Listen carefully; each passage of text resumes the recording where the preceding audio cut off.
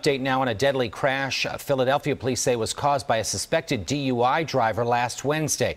It happened on Whitaker Avenue near F Street in the city's Crescentville neighborhood. According to court documents, 42 year old Charles Smith is now facing murder charges.